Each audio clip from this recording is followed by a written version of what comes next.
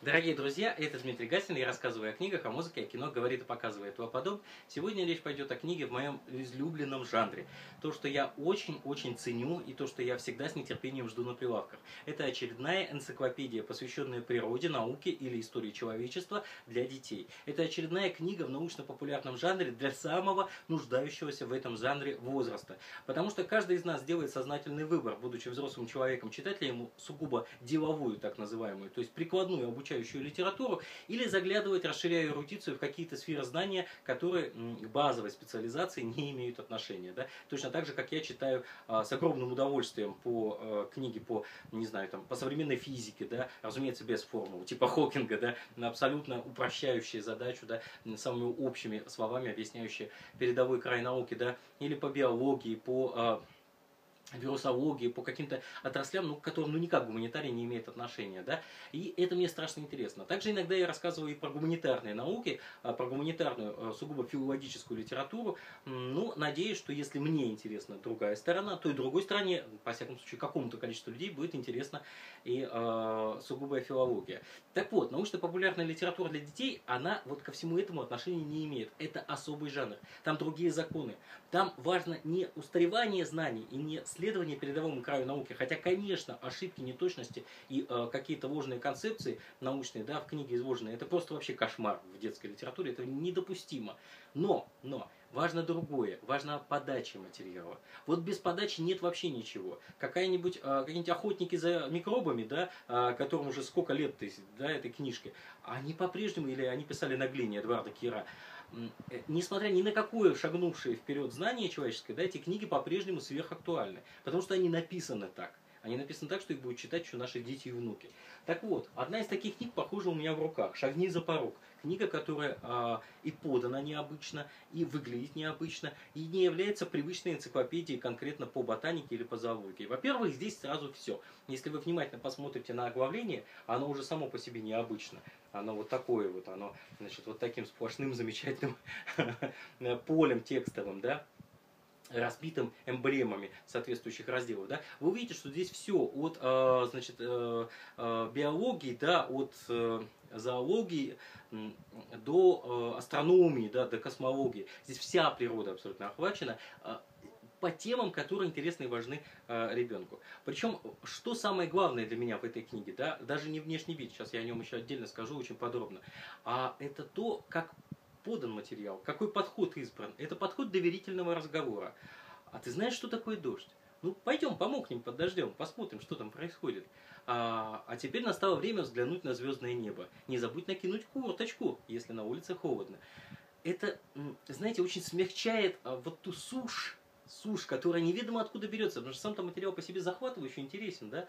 Я говорю, что я, будучи взрослым человеком, который всю школу, э, всю астрономию в школе практически проспал, э, а у вас Пушкин на моих уроках всегда ноль, значит, садитесь и пишите стихи, но, увы, я не Пушкин, я даже стихов не писал на задней партии, просто какую-то читал непонятицу. И, соответственно, э, я уже во взрослом возрасте взял книжку «Звезды галактики, метагалактики» и читал ее как детектив вообще просто мне страшно было интересно. Оказывается, это целая вот такая вот необычная, а, целый мир, да, открылся. Вот так и эта книга открывает каждым своим разделом целый мир. Мир насекомых, Мир того, что незаметно, как, как они прячутся, как они охотятся, как они живут, как они рождаются. Мир э, полевых, э, э, значит, и луговых животных, маленьких птиц, э, значит, грызунов, которые незаметны, опять же, которые не сразу увидишь, не сразу найдешь, но они обязательны в каждом, в каждом парке, лесу, сквере, э, в, каждой, э, в каждой роще, да, нет такого уголка, где не было бы этих, значит, созданий. И о них очень много всего интересного можно рассказать. Здесь опять же сочетание интересного факта и увлекательного рассказа, систематизация материала. Да? Вот. Давай отдохнем в их тени, деревья. Ведь это вот сам заголовок говорит о том, как будет рассказана книга. Действительно, давайте отдохнем в их тени и посмотрим наверх. Помните «Ежика в тумане», там вот эта вот панорама дерева ветвей. Посмотрим, как этот купол ветвей, значит, а что он значит, что он из себя представляет. Да?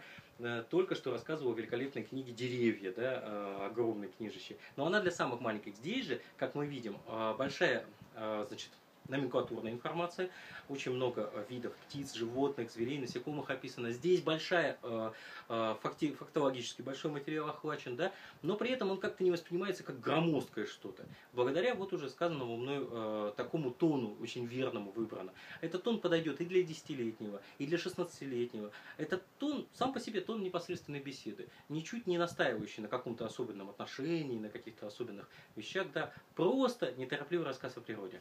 И вот об иллюстрациях вы уже заметили, они очень сильно отличаются от того, что ожидает среднестатистический покупатель вы увидеть в среднестатистической книге о э, животных и зверях. Во-первых, это рисунки. Во-вторых, это рисунки совсем не всегда даже цветные. Это двуцветные, прекрасные акварели, современные, стильные. Но э, э, не будем клеить на эту книгу ярлык дизайнерская книга и на этом успокаиваться. А лучше я вам скажу, чем я считаю такие иллюстрации привлекательны и почему они очень нужны в детской литературе? Во-первых, с тех пор, как а, цифровые технологии, современная полиграфия полностью стерли границу между нашими желаниями да, и нашими возможностями в отношении цветной фотографии и полноцветного изображения. Да? Ну, а, то есть можно э, миллионы страниц наполнить красивейшими цветными фотографиями, ребенок будет над ними зевать. Потому что сама по себе красота природы так просто не открывается. Как и все в этом мире, все в этом мире. Это требует особого подхода, особой дорожки. Вот такие иллюстрации, во-первых, в отличие от цветной, полноцветной фотографии, да, или вот того, что вы ждете в книге, вот National Geographic, да, вот прям вот. А, первое, что возьмет любой покупатель, который не задается вопросом э, подобрать что-то такое вот поинтереснее, я уже сказал об уникальных свойствах текста, но ведь привлекает-то картинка в первую очередь. Так вот о картинке. Такие иллюстрации отсекают все лишнее. Здесь нету деталей, которые отвлекут внимание, не позволят запомнить форму, размер, внешний вид животного, растения и так далее. Второе такие картинки прежде всего приучают э, понимать, что м, прежде всего, чем вы увидите красивую компьютерную анимацию или э, фотографию, сделанную профессиональным фотографом за страшный гонорар где-то там в джунглях, да, существует обычный блокнот и ручка, куда вы примерно так и зарисовываете все, что вы видите. Такие картинки побуждают ребенка взяться за акварельную краску или за карандаш. Это чрезвычайно приятно. При этом детские рисунки, они напоминают очень-очень слегка. Вовсе, я бы сказал, даже не напоминают. Это профессиональная работа, очень тонко сделанная. Тут важно что? Ребенок видит подобное тому, что можно сделать своими руками, но и берется за карандаш и листок бумаги. Ценнее ничего не придумать. Вот все остальные цели меркнут по сравнению с вот этим вот, да. Это второе. Третье. Эти иллюстрации позволяют отличать настоящее искусство, настоящую книжную иллюстрацию от э, цветной, сни, э, цветной, фотографии, цветной фотографии, да, той же травинки, того же листочка, который можно сделать айфончиком миллион раз э, с любой позиции в любое время суток. Да, я ничего не хочу сказать плохого про фотографии, сделанные айфончиком. Это свой жанр. Но есть у каждой технологии ограничения – и а, тиражируемость не является а, достоинством в таком случае, в таком случае, да, в таком роде.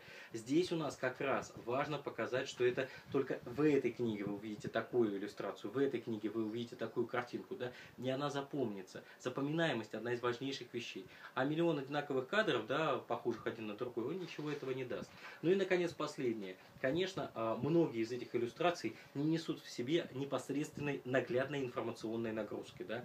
Они не являются являются э, таблицами или схемами для изучения каких-то объектов природных. Забудьте вообще об этом. Они передают настроение, они передают ощущения, они передают впечатление. Это, это же самое передает и цветная фотография, да, в каких-нибудь, я уже сказал, дешевых книжках про животных. Но так как это сделает художник, невозможно это увидеть при помощи фотоаппарата. Он делает это руками. Руки это и есть его глаза. И это совершенно не, непередаваемое словами, неописываемое. Даже не буду пытаться. Оптика, какая-то особая взгляда на мир. И, конечно, особое лирическое настроение, особая любовь к созданиям, которые изображаются, особая нежность к людям, которые в этой природе изображены, да, мальчик и девочка, там герои книги, они постоянно, она чувствуется в каждом пятне цветовом, каждом, значит, штрихе, на каждом развороте. А иллюстрации в этой книге море, на самом деле, она сверхиллюстрирована даже. Вот. А, и, конечно, вот такая книга, да, такая большая книга, рассмотрим тебя как млекопитающий. Вот такой прекрасный подход, да. Значит, а, взгляни на окружающий мир как на экосистему, да, давайте, давай построим э, твою, твой ареал обитания, да. Это позволяет немножечко сделать шаг в сторону, взглянуть на привычные и даже иногда наскучившие уже вещи, вот этими всеми бесконечными научно-популярными. Э, поток-то информационный, он очень большой на самом деле у ребенка. Вот, а, позволяет немножко взглянуть по-другому, по-новому, перетряхнуть знания. Это великое дело. Опять же, э, фору даст э, громадную любому учебнику да, по биологии, любой книге. Потому что э, именно такой подход, он самый плодотворный. Творите вместе с детьми, читайте с ними такие книги и, э, в общем, как можно чаще бывайте на природе. Это я вам говорю человек, который живет в большом городе и на природе бывает очень редко. О чем, конечно же, жалею. Издательство «Самокат. Шагни за порог. Путеводитель по природе». Спасибо за внимание.